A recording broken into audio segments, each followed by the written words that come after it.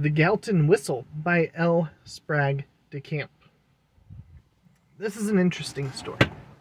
Um, so far out of the three that I've read in here, this is, I think, my least favorite.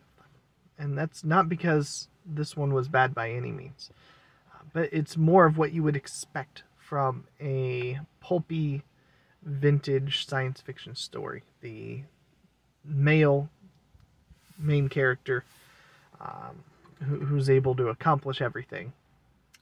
The the female character who is the damsel in distress who needs rescuing and, and serves mostly as a plot point and a device uh, with, with, a very uh, underwhelming twist at the end.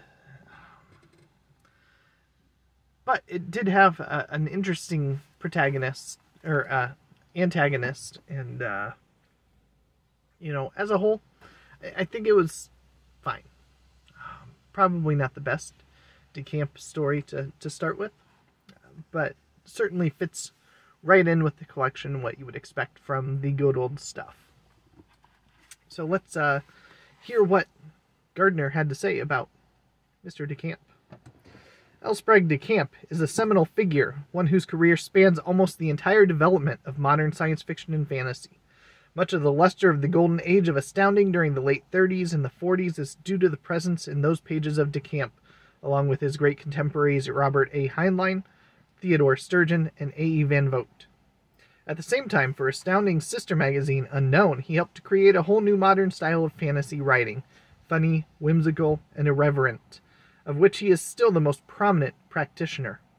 De Camp's stories for Unknown are among the best short fantasies ever written, and include such classics as The Wheels of If, Nothing in the Rules, The Hardwood Pile, and, written in collaboration with Fletcher Pratt, the famous Harold Shea stories that would later be collected as The Complete Enchanter.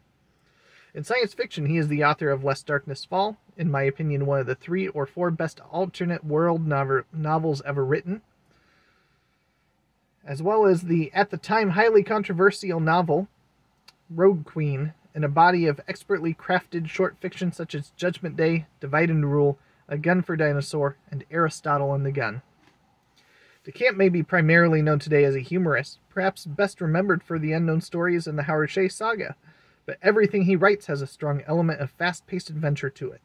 Just as even the most headlong and swashbuckling of his adventure tales contains a generous portion of wry humor his greatest contribution to the evolution of the space opera is the Viagens Interplanetarias, which means interplanetary tours in Portuguese, the language of the dominant political and economic power of DeCamp's future Earth, Brazil.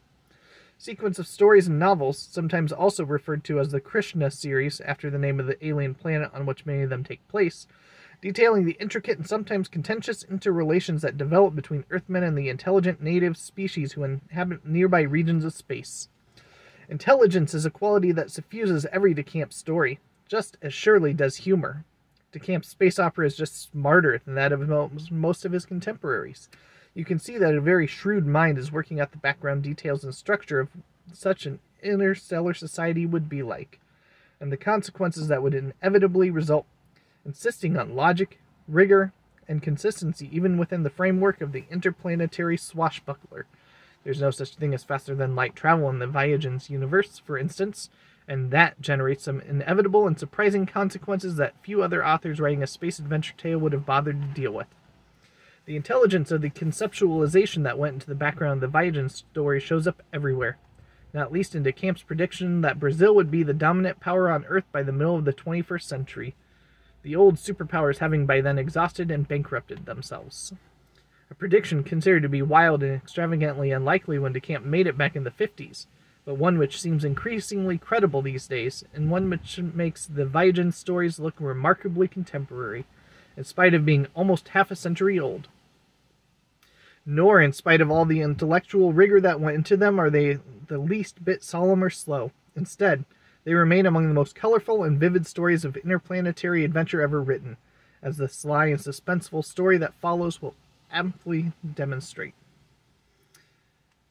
Alright. So, the Viagens Interplanetarias stories were assembled in a landmark collection, The Continent Makers and Other Tales of the Viagens.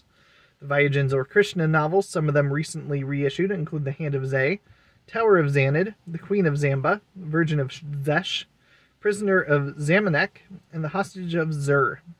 The single best of these novels, in my opinion, is The Hand of Zei, which makes a good entry point into the series and which is still often findable in second-hand bookstores.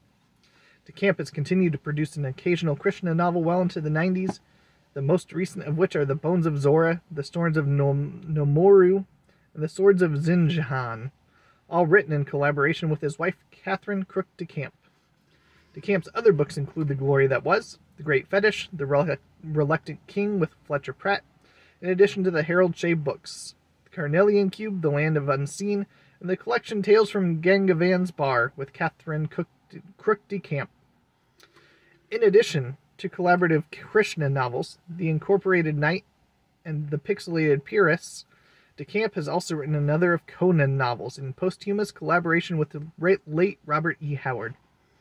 He has also written a long sequence of critically acclaimed historical novels, including The Bronze God of Rhodes, An Elephant for Aristotle, The Dragon of the Ishtar Gate, The Arrows of Hercules, as well as a number of nonfiction books on scientific and technical topics, literary biographies such as his painstaking examination in the life of H.P. Lovecraft, Lovecraft, a biography, and Dark Valley Destiny, the life of Robert E. Howard, and critical biographical studies of fantasy and fantasy writers such as literary swordsmen and sorcerers. As editor, his anthologies include Swords and Sorcery, The Spell of Seven, The Fantastic Swordsman, and Warlocks and Warriors. His short fiction has been collected in the best of L. Sprague de Camp, A Gun for Dinosaur, The Purple Pterodactyls, and Rivers in Time. DeCamp has won the Grand Master Nebula Award and the Gandalf or Grandmaster of Fantasy Award, as well as the prestigious Life Achievement Award given by the World Fantasy Convention. In 1997, he won a Hugo Award for his autobiography, Time and Change. He and his wife live in Texas. I'm guessing they may not live in Texas anymore. Uh, but there you have it. So, more than you probably want to know about DeCamp.